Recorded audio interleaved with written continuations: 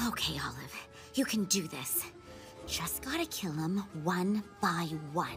Thyme's arrows are long range, so I should get in close and kill her first. Sage barely knows how to use her Terrasphere, so I can take her out next, no problem. And since Rosemary's unarmed, I'll save her for last.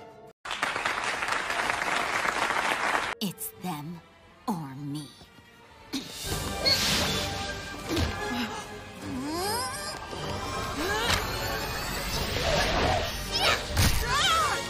Not dead, but whatever. Not dead, but whatever. Just a tiny strategic suggestion. Try giving the pumpkins the pumpkin treatment. The head is squishier than it looks.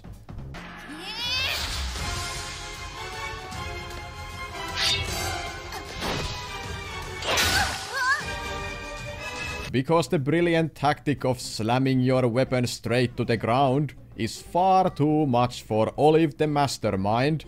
Why is everyone retarded? I'm so tired of everyone being retarded in this show. Also, it is highly convenient that Rosemary just so happens to carry her massive sword on her back everywhere she goes. Don't be cynical, Sage. It's a festival. Sheesh. But all of this collective idiocy and convenience throughout this saga spread over two whole episodes has been in service of this moment, the epic duel between the prime protagonist and the major villainous presence of the show. Naturally, the hero emerges victorious. We already know this. That's just the nature of these kinds of stories. And I could not give less of a crap about either of these clown people, so there's no emotional investment. But how about the fight itself? Is the spectacle at least engaging? Short answer, no. Long answer, well, let's put it like this. It does not exactly hype up the audience when the villain of the hour, the obstacle, the alleged threat, is cowering away from the fledgling hero. Olive seems bothered, if anything, by the fact that Rosemary catches up to her, despite the fact that Olive has her exactly where she wants. It's a narrow, secluded alley. She is alone. It's the perfect place to unleash her magic and destroy Rosemary effortlessly. But remember, retard, so obviously Olive refuses to do the quick and simple thing to achieve her goals. Instead, we are treated to the most infantile, embarrassing, try hard, look mommy I can do anime too brand of directing. What the fuck was that? What exactly made the mob topple? Are you are you actually a 10 year old? No adult person with adult person brain would ever think this is cool. So the fight begins, as dictated by the mob. Olive does all of these flips and leaps, not to mention pointless flourishes and suboptimal strikes. She punches Rosemary at one point, even though her weapon is a staff, a long-reach melee weapon. And despite being an ineffective fighter, Olive is still so far beyond Rosemary that she effortlessly sets the pace and Rosemary can barely keep up. If your opponent is this agile, this powerful, then I hate to tell you, but you are done. You are not going to win this battle. That's not how any of this works. Yet still, the fight keeps on going for several exchanges. It's just movement for movement's sake. This is not impressive. Stuff moving quickly on the screen is not impressive. That's not what action is about. Random bullshit for the sake of lukewarm spectacle. Effective duels are all about letting the characters showcase their capabilities to the fullest.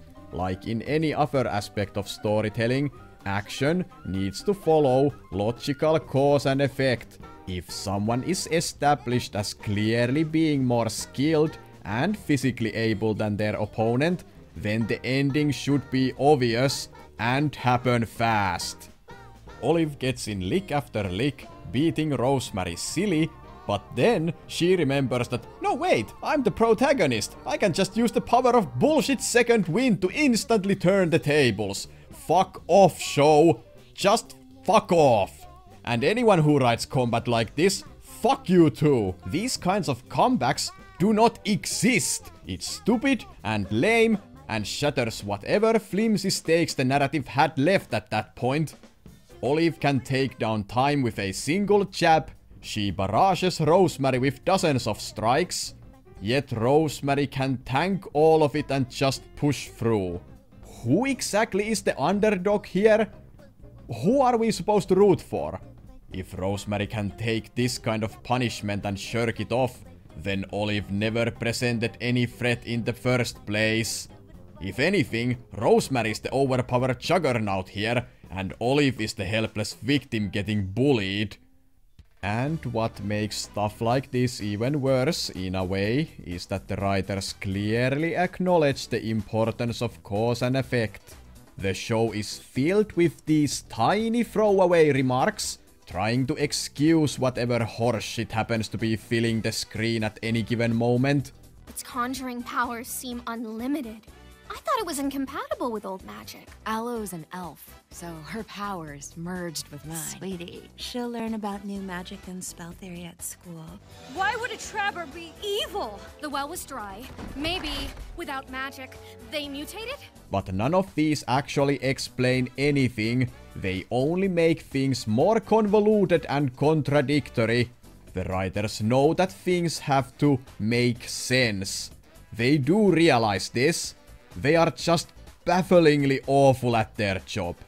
Did her spell bounce off my spell? Is this my fault? No. Olive turned the city to stone. This is war.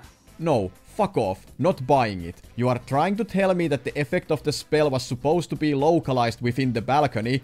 Then that would make the villains even more incompetent than they already are. If the spell engulfs the entire city, then at the very least it ensures that the girls get petrified.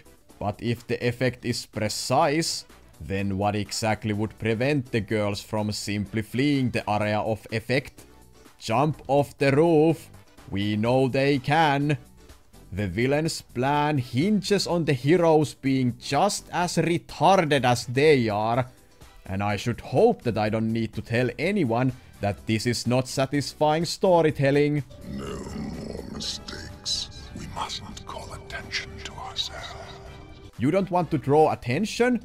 Then how about not using the obvious enormous magic techno party in the sky? How the fuck did no one notice it? It's not like it blends into the rest of the festivities.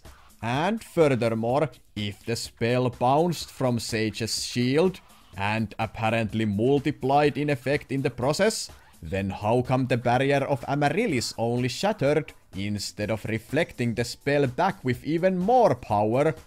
Anytime the show tries to explain or excuse something, they only make things worse. No matter which way you look at this, it's still retarded. It's either retarded this way or it's retarded this way the end result is the same. Also, I don't give a shit about Sage feeling guilty for whopping 2 seconds about something she may or may not have caused. It doesn't lead into anything, so it's useless fake drama. Sage is a Mary Sue, and I despise her with all my being. You know, this kind of looks like the work of a spark spell. A big exclusive one at that. This Olive Girl must be loaded. Huh. I wonder if I've ever seen her around Spooky City. Well, they just started selling them the last time I visited. There are these little high-tech sparkles with ready-made spells inside. They're super easy to cast. How do they work? You just need a Terra Sphere and a Spark. The Spark spell stays in your Terra Sphere until you deploy it. It's amazing. No, stop, stop explaining things. You are so bad at it. Ready-made spells that anyone can use? Do I need to bring back the whole teleporting thing? Because I absolutely will. This world should look totally different at this point.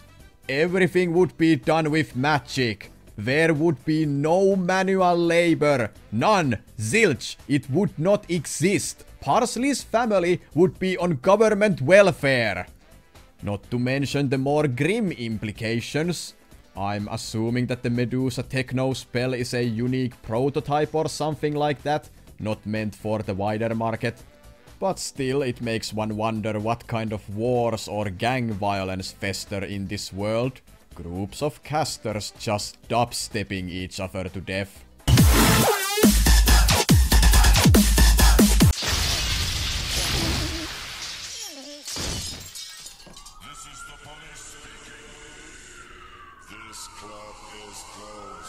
And as always, a massive thanks to each of you for listening till the end.